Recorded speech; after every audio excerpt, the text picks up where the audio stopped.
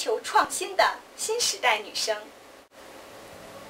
我非常喜欢去东方广场，因为那里不但有银行方便理财，还有很多美味的 food court 来慰劳我们的五脏六腑。我们还可以买到自己心仪的漂亮手机，还有我最喜欢的很多漂亮、时尚、可爱的服装店。在东方广场，还有手艺超棒的发型沙龙，偶尔也让自己换个心情。换个发型吧。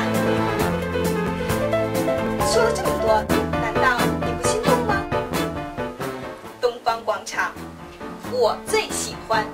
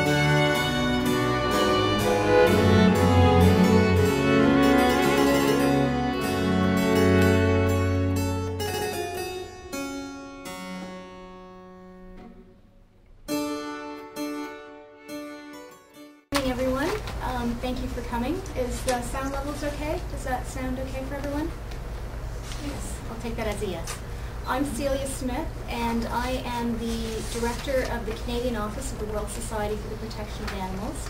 To my right is Leslie Eep, who um, is a host and celebrity, and you all know her. Um, to her right is Patrick Tohill. He is the campaigns manager for the World Society for the Protection of Animals. And to my left is Peter Chen, and he is our Community Outreach Director. The World Society for the Protection of Animals is an international animal welfare organization working to end the suffering of animals. We work together with over 700 humane societies and animal protection groups in 150 countries in our, in our mission to make animals matter and end cruelty towards them. We've invited you to this news conference today to update you on the progress of our work to protect Asian bears. A little over a year ago, the WSPA drafted a statement of support for animal protection and the use of alternatives to bear bile. Our aim in drafting the statement was to secure the endorsements of traditional Chinese medicine associations from around the world so that we could show that the majority of practitioners are concerned about animals and their welfare and that they do not prescribe bear bile. The statement, which can be found in this new report titled Highlights from the International Symposium on Traditional Chinese Medicine and Animal Protection, says, I'll read it to you. We express our support for the protection of animals and the promotion of alternatives to bear bile. We believe that the use of bear bile is inconsistent with the modern practice of traditional medicine due to, one, the many animal con cruelty concerns associated with extracting bear bile from captive bears, the concerns also for wild bear populations, which continue to be killed for their bear bile in many countries, and three, the fact that at present many alternatives and treatments can be used in place of bear bile. We are pleased to announce today that we have secured the endorsements of 14 Canadian and 20 international TCM associations. These associations represent more than 14,000 practitioners worldwide and their support shows that there is agreement within the TCM community that bear bile farming is unnecessary. This joint statement was originally drafted for the International Symposium on Traditional Chinese Medicine and Animal Protection, which was co-hosted by the WSPA and Ryerson University's G. Raymond Chang School of Continuing Studies. The symposium was held in November of 2005. It was attended by a diverse audience of TCM practitioners and researchers, healthcare policymakers, animal welfare proponents, and interested members of the public. And some of the topics included TCM alternatives, avoiding animal torture, and synthetic and natural alternatives to bear bile. The symposium was a catalyst for debate on the use of bear bile, and at the event, the WSPA secured the endorsements of many of the representatives of TCM associations who attended. The statement has continued to gain support, and over the past 15 months, the WSPA has secured more than two dozen additional endorsements from countries around the world, the United States, the United Kingdom, Australia, Germany, and China. The partial list of the supporting organizations can be found at the back of the new report, and it also contains highlights of the presentations made at the symposium. A complete list of those organizations who have signed the joint statement can also be found on our website, www.bearbile.org. Support for our work continues, and more TCM associations are signing every day. To tell you more about some of the other work that we're doing in the second phase of our campaign, I'm going to turn things over to Patrick Tohill, our campaigns manager. So thank you, Celia. Um, as was said, this year uh, WSPA will be stepping up our uh, bear farming campaign in Canada and our public awareness campaign to uh, protect Asian bears and uh, to promote alternatives to bear bile. Uh, there are several key aspects to this. Um, we will be building on the support um, for the joint statement that was established last year um, by reaching uh, outside of the TCM associations and the, the traditional Chinese medical community um, to try to get the support of uh, the Chinese uh, community at large. And we'll be doing this by um, seeking the support of uh, Chinese Canadian business associations and other um, opinion leaders within China, the Chinese community in Canada. Um, as importantly, we'll be seeking the support from the public um, for a very simple statement, a sort of uh, stripped down version of the joint statement, if you will, that says simply um, protect Asian bears and don't use bear bile. And uh, this uh, appeal was first introduced last uh, summer um, at an awareness event held during uh, the Markham's uh, Taste of Asia Festival.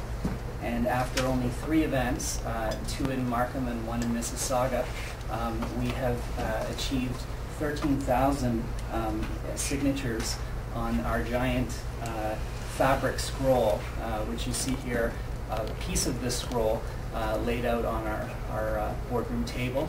And uh, this, this scroll, this is only 50 meters worth of fabric. It's, it's more than a meter high and it's 15 meters long and we have at least 10 of these sections. So we have 150 meters of fabric which we aim to cover um, you know, from one end to the other uh, with signatures. And we got off to a good start, as I said. Uh, last year we collected 13,000 signatures. Um, we'll be collecting many more. That was just three events. We'll be doing a whole series of events this spring. Um, and we're hopefully going to target the West Coast because uh, everything we did last year was, was in the Greater Toronto area. Uh, we'll be uh, heading west to Calgary and also Vancouver and uh, we possibly might even get to Montreal, so we might head east as well. Um, stamped on the scroll is a bear paw print, um, which you see produced large up here, but it's also on the scroll, and uh, it says uh, in, in, English and Chinese, protect Asian bears, uh, don't use bear bile. I think it's a very simple statement um, that most people can get behind. Um, and the reason for this uh, message is that obviously the main users of traditional Chinese medicine um, are obviously uh, still people in the Chinese community who've grown up uh, and learned uh, to use bear bile perhaps at, at uh, their grandmother's knee. And you know, we're asking people to, to look for alternatives. Um, what the doctors very clearly told us um, at the uh, symposium at Ryerson University and what we're hearing increasingly from traditional Chinese medicine practitioners um, in Canada and around the world is that there are many alternatives to bear bile. Um, from Tui Na uh, to acupuncture to uh, Chinese herbal medicine, um, alternatives abound and uh, it is not necessary um, for bear bile to be used. It is not necessary for bears to be confined um, to tiny cages um, in which they can barely move to produce these medicines. It's not necessary for bears to be hunted in the wild um, for their gallbladder. Um, you know, neither the suffering of the bears in Korea and in Vietnam and in China in the bear farms is necessary, and the, the, hunting of bears for their gallbladders is not necessary either. Um, there are many alternatives, and we have seen a great outpouring of sentiment and support for this appeal and I think we will continue to uh, see uh, more support gather momentum uh, as we enter phase two of this campaign and we, we really intensify our efforts. Um, along with this um, intensification of uh, our efforts uh, come a series of ads which were launched in 2007 beginning in January um, and will continue for the next uh, two months um, on in Chinese newspapers four major Chinese newspapers in Canada nationwide are running um, uh, a series of ads, which Peter is holding uh, to my left, and it's on the exact same theme. Uh, bear bile is unnecessary. Uh, bear farming is unnecessary. These bears are suffering. Um, bear farming is cruel, and it, it, uh, there are alternatives. So this is uh, a practice that should be phased out. Um, we want it to end, and we're very clearly saying that. And we want uh, we think that the communities, the Chinese community in Canada and the Chinese community in the United States and in Australia and in the other countries where we have offices and are working on this campaign, um, the Chinese community can help us by sending a very clear message, a very clear statement to our appeal, by endorsing our appeal and adding their signatures um, to our petition scroll when they see us out in the community. Um, you know, the, uh, by going to the website, um, the website offers information, bearbile.org. Um, it will be promoted in TV commercials that will be coming uh, soon. It will be promoted in the newspaper uh, ads. And uh, there is not yet an online appeal added to that, but we're working on an online appeal where people can basically um, add their name to the appeal right online. So um, this will be something to look forward to in the coming months is an online appeal and uh, hopefully a whole revamping of the website as well, which is underway. So we're going to go with the Friends of the Bears theme, and uh, you know we, we, will be changing the entire website, giving it a fresh new look, and uh, friendly characters and, and uh, um, a more friendly uh, aspect to it. So. Um, we have lots of stuff underway. Um, one very exciting thing that I wanted to announce today is um, we are uh, working on an ad for television, which we'll be shooting um, on Monday, and it will feature uh, uh, Leslie Eat, um, who is well known. Uh, I don't even need to introduce Leslie, I'm sure, uh, to you all um, for her work on television and radio and uh, her columns that appear in the newspaper, as well as her many appearances at uh, community events. Um, what may not be as well known is that Leslie has a great and abiding affection for animals, um, stemming from uh, her companionship uh, with the many uh, pets that she has had over the years, which she was telling me about, and that's why she said she is pleased to join uh, with us in this campaign. Um, and as I said, um, the ads and the uh, both the television ads that uh, Leslie will be featured in and also the radio ads are going to promote this idea that these bears don't need to live in these small cages. Um, you know, it's, it's not a necessary thing. Um, and so uh, without further ado, I'm going to turn things over to Leslie to tell, and she'll talk a little bit more about her involvement in the campaign.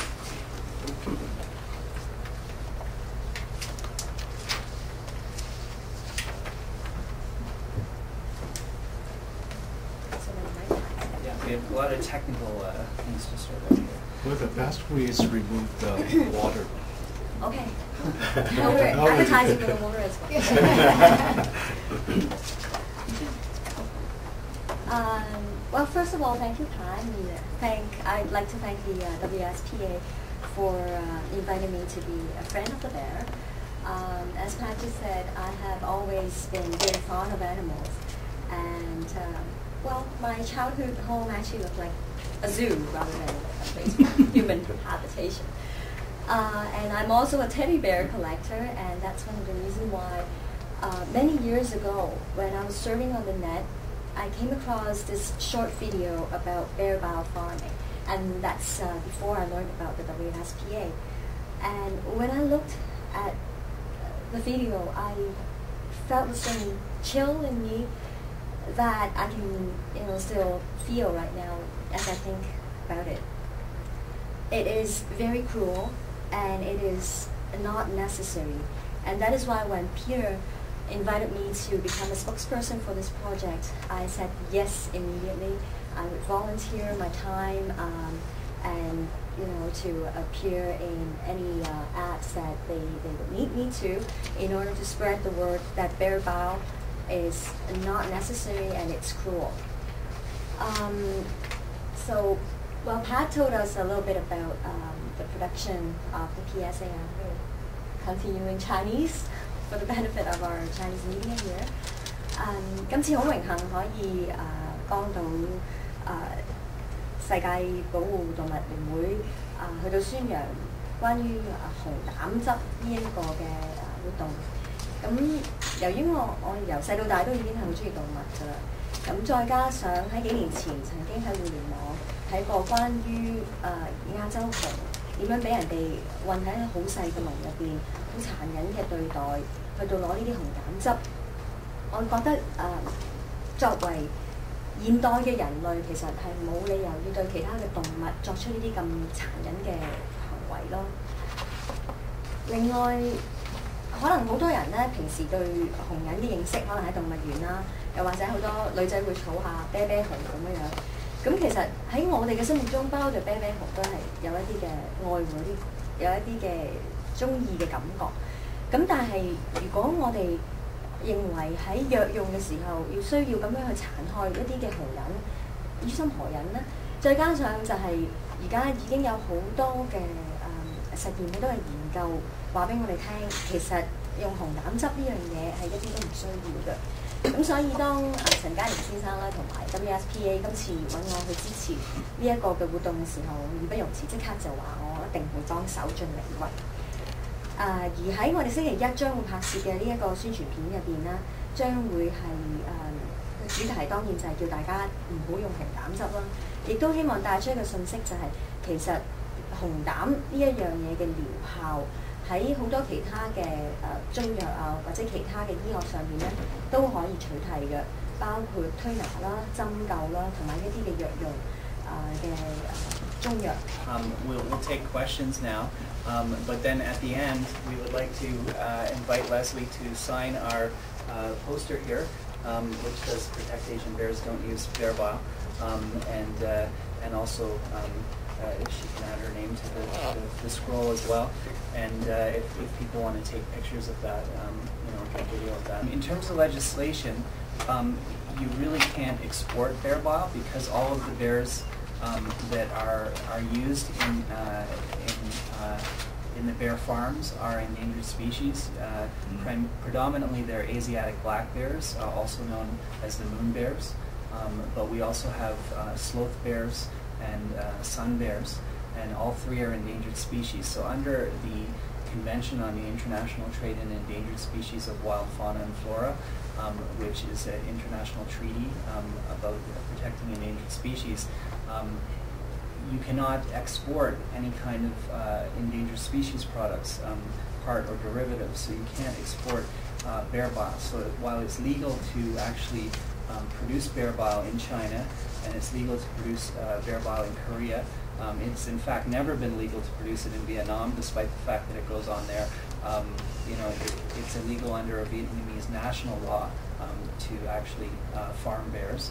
Um, but in, in Korea and China, you can extract bear bile and you can sell it domestically. Um, but to export it would be to break the international treaty the CITES Treaty. And so uh, it is, as, as was mentioned, a very gray market or black market uh, product. Um, it, it, uh, as our 2000 investigation um, into the trade showed, uh, it, it reaches into many countries. Uh, we find bear bile um, in Canada, um, and it was sold very openly on the shelves in 2000, um, you know, in, in shops. Um, we have uh, not undertaken a full-scale investigation um, since that uh, 2000 investigation, um, but we have done some preliminary uh, looking into uh, the TCM shops, and we're not finding, we still find it on shops uh, today, um, but it's not to the same extent um, as it once was. So, uh, but do we know whether it's still being traded in, uh, underground? You know, we can't say that for sure. I mean, it's easy to go into the stores and check to see whether it's still on the shelves. Um, it's perhaps a little bit less than it was, but it's still on the shelf. Um, but there's certainly a black market trade in this, this product. Um, a lot of the product that is sold in Canada is from bears that are killed in Canada, so bears that are poached um, illegally um, and hunted for their gallbladders. Um, and uh, some of it is the actual manufactured product um, which uh, is clearly labeled um, as being manufactured in China. So um, it's not supposed to be in here, but it's easy to, uh, just as with any profitable product, whether it's uh, illegal drugs or illegal guns, you know, the illegal trade in, in endangered species products, uh, you know, continues to thrive, whether it's bear bile or tiger bone or rhino horn, um, or, you know, if you want these things, uh, you'll get them. And, uh, you know, it's simply not possible to keep all of it out. So um, I think that uh, according to Interpol, um, the illegal trade in endangered species products is is um, uh, third only to the trade in, in, in, drugs and the trade in guns um, internationally. So it's a, it's a thriving trade worth billions of dollars. So. so any idea how much does it cost the street value for their well, again, you know, our uh, investigations now go back a few years um, where we actually looked at the sale of gallbladders. Um, at the time, uh, in 2000, uh, you could purchase a whole gallbladder for $600 um, or a piece of one, like a gram, uh, a small piece for $50. Um, it was sold both ways, either as a whole gallbladder or as, as pieces that you would cut up.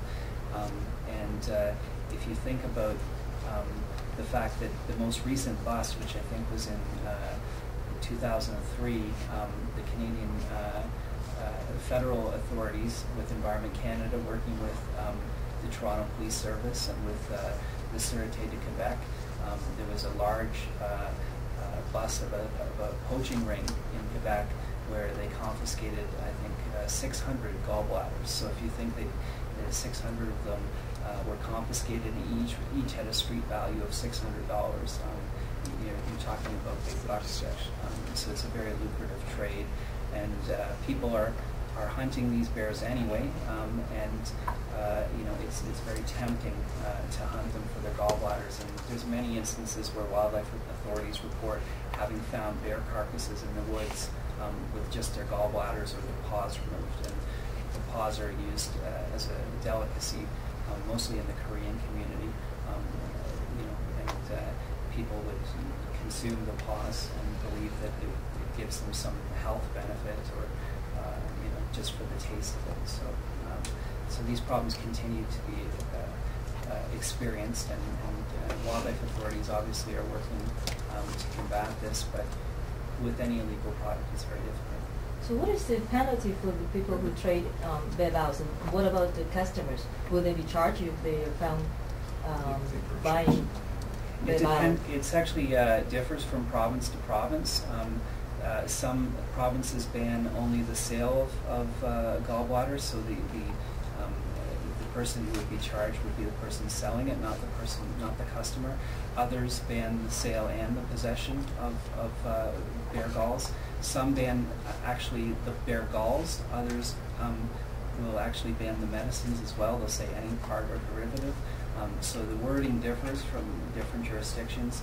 Ultimately, there's not um, uh, a lot of enforcement um, on the store side of things. So uh, it's mostly on the poaching end. Um, so in terms of the uh, the manufactured medicines, the ones that are coming from the bear farms, which are our main concern, is the suffering of these bears in captivity. Um, you know, there's not a lot of uh, agencies who are looking at are these products being sold on the shelves. Um, the concern mainly seems to be about the actual gallbladders of bears that are poached in Canada. Um, and that's because the mandate of most provincial wildlife authorities is to protect um, native um, species of animals. And, they're not as concerned about um, uh, these illegal products that are coming in uh, internationally. Um, that is the domain of the Environment Canada Wildlife Branch, um, which uh, polices airports and also ports of call, um, seaports. Um, but there just aren't enough enforcement agencies to catch all of it, all of it, and there aren't enough enforcement officers to catch all of it. So um, penalties uh, vary from province to province. Um, most involve a fine, some involve jail time, and again, it's mostly for the sellers of the, the illegal products, not for the purchasers. But some do make it illegal to possess. What about Ontario? Um, I believe in Ontario, um, the, both the um, possession and sale of, of gallbladders is banned. And uh, I think that it's a gray area when it comes to the actual manufacture of medicines because um, there's nothing in the in the legislation about um, uh, bear bile itself. It's, it's more, you know, on the, the gallbladders. So we don't know the penalty. I mean, I don't I don't know the penalty offhand. I can look into it for you. So you're really thinking, on the consumer. We want to try to convince people to not use bear bile, um, to use alternatives instead, and uh, um, let the authorities do their jobs in terms of the enforcement of, of uh, the, poaching and, and, and the other stuff. Um, and uh, uh, obviously, you know, if we had the power to stop uh, the trade, we, we would, but uh, um, you know, we, we can't do much about the supply side, so we're, we're looking at the demand side. Um, as I said, it, it's going into production uh, next week, um, so uh, it should be airing uh, this spring. Uh, you know, we'll be looking at editing in March and uh, probably rolling out uh, early in the spring.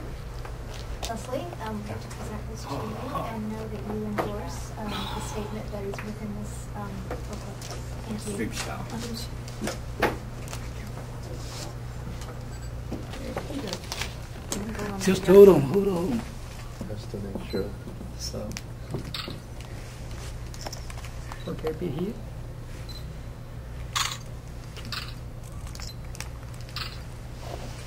Here, here, please. Này cái đâu không? Đây个，系 NGO Tech One，咁你先好多个噶咯。系我冇问题，嗰个五十个 meter 㗎。 請埋你哋企埋後 Hi. 邊側 Would you, 邊？ would you like to uh, yes uh, stand behind uh, Leslie? 我見到 Tech Two 啦啊。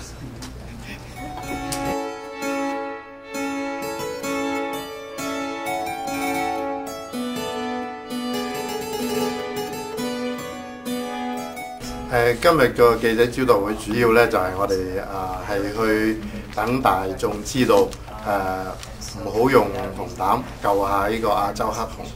咁其實最主要嘅原因咧就係、因為嗰啲亞洲黑熊咧就會誒俾、人哋困咗喺個好細嘅籠度，根本唔轉得生嘅籠嗰度咧，就係、誒、跟住咧就喺個腹部咧係去切誒、開咗，就去插支管入去去抽取紅膽汁嘅。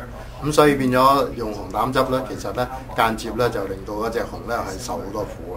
咁所以如果我哋誒唔用紅膽汁咧，其實都可以用好多其他唔同 嘅呢個嘅誒、代替品嘅，包括咗差唔多七十種嘅中草藥啦，呢、個誒、針灸啦、推拿等等咧，其實都可以有同紅膽汁嘅效果差唔多嘅呢啲嘅誒治療嘅啊效用嘅啊。簡單講講 WSPA。係誒呢個世界保護動物誒、聯會呢、個 World Society for the Protection of Animals 簡稱 WSPA 啦，啊係一個世界嘅組織， 係一個聯合國嘅從屬機構。咁佢哋誒有咧就有我哋有六百幾個嘅會員機構，就 就有誒、呃、差唔多誒四十萬嘅呢個嘅啊會員支持者嘅嚇。咁、我哋喺一百七十個國家嗰度服務，咁同埋咧喺呢個服務嗰度咧，包括咗三個層次。 一個層次咧就係、大眾嘅教育誒同埋呢個推廣意識啦。第二方面咧就係、同專家合作，希望可以藉此咧去減低呢個嘅啊動物嘅受苦。同埋第三樣咧就係同呢個嘅政府咧係去誒幫助政府誒一齊去搞立法呢方面嘅，等呢個嘅誒動物可以有更多嘅福利。 咁所以整個嘅過程之中咧，我哋亦都可以即係藉此咧，能夠係進入第四個層面，就係、動物本身嚟講咧係會備受重視，同時另外一方面咧，亦都係令到佢哋免受痛苦，以及增加佢哋嘅福利。你覺得公眾有咩可以做到幫到你哋咧？喺誒、呃公眾嗰度咧，誒、其實咧你哋可以係有幾方面去誒、支持誒、保護動物嘅。 第一方面咧就係、誒、愛護動物啦，係基本上嘅呢、個。第二方面咧就係唔好用有關用動物嚟做嘅嗰啲嘅誒產品啦。第三方面咧就係、誒、將呢個信息誒傳出去。咁同時另外一方面咧，亦都係可以誒係、支持我哋個會啦，或者其他有一啲誒、差唔多性質嘅一啲嘅誒愛護動物嘅會啦，咁樣樣。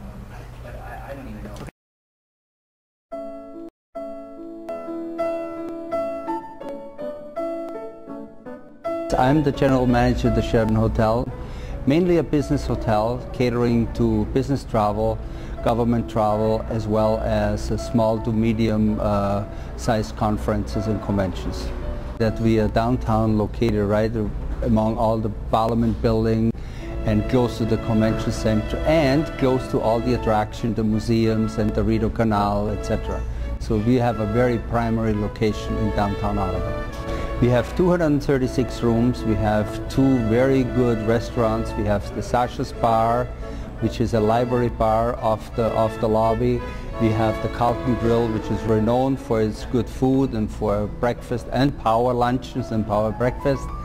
And uh, we have the Club Lounge, and we are a full-service Sheraton hotel with all the amenities.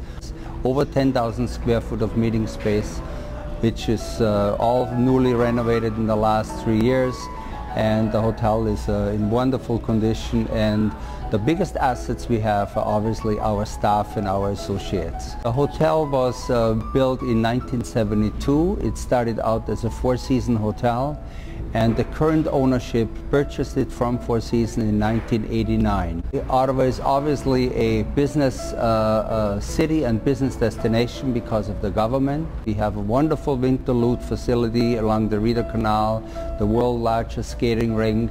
We have great festivals, the Tulip Festival, the, the whole summer we have a great array of festivals. And indoor you have the greatest national museums in the city. Ottawa is a, is a four-season, year-round destination to visit. If, if people like to have more information about what's going on, they call the hotel directly or contact it through our website, uh, SheratonOttawa.com.